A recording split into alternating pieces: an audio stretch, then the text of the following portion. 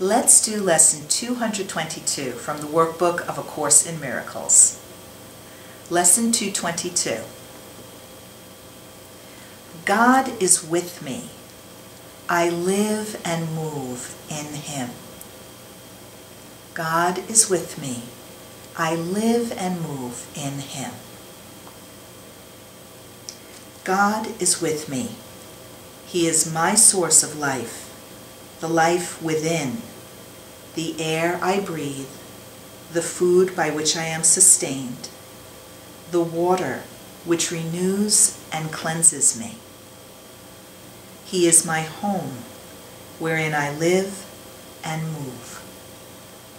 The Spirit, which directs my actions, offers me its thoughts and guarantees my safety from all pain. He covers me with kindness and with care, and holds in love the Son he shines upon, who also shines on him. How still is he who knows the truth of what he speaks today.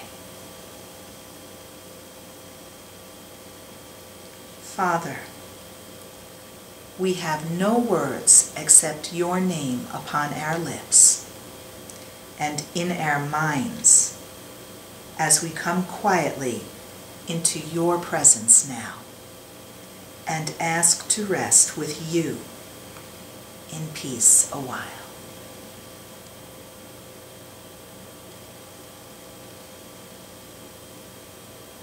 That's lesson 222.